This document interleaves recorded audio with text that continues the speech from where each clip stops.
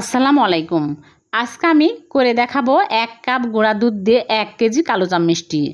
আমার এই ভিডিও প্রথম থেকে শেষ পর্যন্ত প্রসেস ফলো করবেন। আপনাদের মিষ্টি এই রকম একদম দোকানের মতো পারফেক্ট হবে, আমি গ্যারান্টি দিয়ে বলছি। আশা করছি আমার আজকের রেসিপি আপনাদের কাছে ভালো লাগবে। ভালো লাগলে লাইক কমেন্টও বেশি বেশি শেয়ার করে দিবেন। তাহলে চলুন রেসিপি শুরু করি। প্রথমে একটা ডিম ভেঙে নিব। এখানে আমি ছোট সাইজের একটা ডিম ভেঙে নিচ্ছি। আপনাদের ডিম যদি বড় হয়, একটা ডিমেই হয়ে যাবে।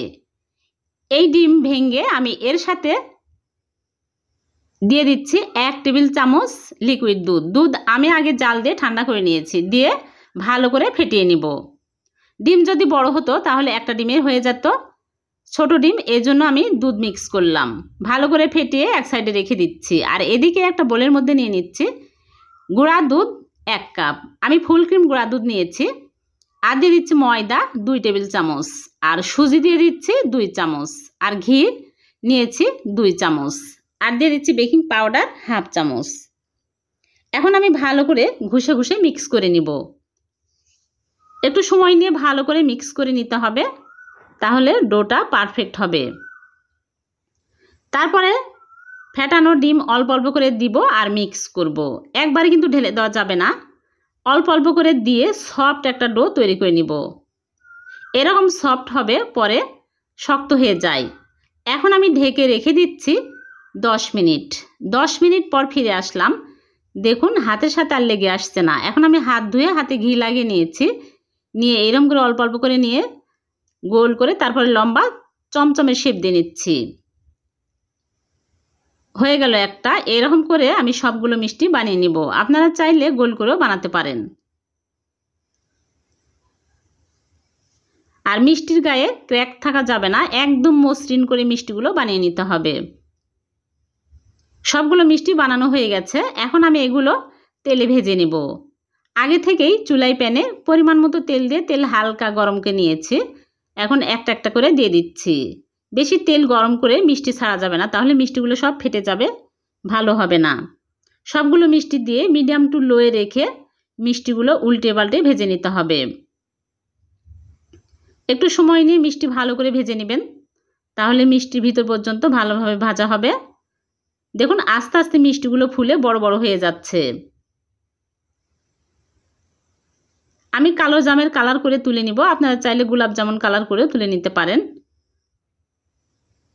যখন এই রকম সুন্দর কালার চলে আসবে, তখনই তুলে নিচ্ছি। দেখুন, মিষ্টিগুলো একটাও ফেটে যায়নি। অনেক সুন্দর হয়েছে মিষ্টিগুলো। সবগুলো মিষ্টি আমি ভেজে তুলে নিয়েছি। এখন এই মিষ্টিগুলো এক সাইডে রেখে দিব, ঠান্ডা হতে থাকুক। আর এইদিকে আমি চিনি শিরা তৈরি করে নিব। এজন্য চুলে একটা প্যান বসে দিয়েছি আর দিয়ে দিচ্ছি চিনি এক কাপ। আর পানি দিয়ে দিচ্ছি দুই কাপ। পানি একটু বেশি দিতে হবে। আর দুইটা এলাচ দিয়ে দিচ্ছি। এখন আমি নেড়েচেড়ে জাল করে একটা বলক তুলে নেব। জাস্ট একটা বলক উঠে আসলেই মিষ্টিগুলো দিয়ে দিতে হবে। আর মিষ্টিগুলো এখন ঠান্ডা হয়ে গেছে। গরম মিষ্টি কখনোই গরম শিরার মধ্যে দেওয়া যাবে না। এখন আমি মিষ্টিগুলো দিয়ে নেড়েচেড়ে ঢেকে রেখে দিব পাঁচ মিনিট। হাই হিটে মিষ্টিগুলো পাঁচ মিনিট জাল করে নিলাম, হয়ে গেছে। এখন আমি চুলা থেকে নামিয়ে ঢেকে রেখে দিব এক ঘণ্টা। এক ঘণ্টা পর মিষ্টি আপনাদেরকে সার্ভ করে দেখাবো।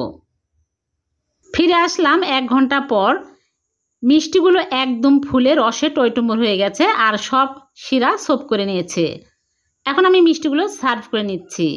দেখলেন তো, কত সহজে হয়ে গেল এক কাপ গুঁড়া দুধ দিয়ে এক কেজি কালো জাম মিষ্টি। এখন আমি একটা মিষ্টি কেটে দেখাচ্ছি, কতটা রস ঢুকেছে আর নরম তুলতুলে হয়েছে।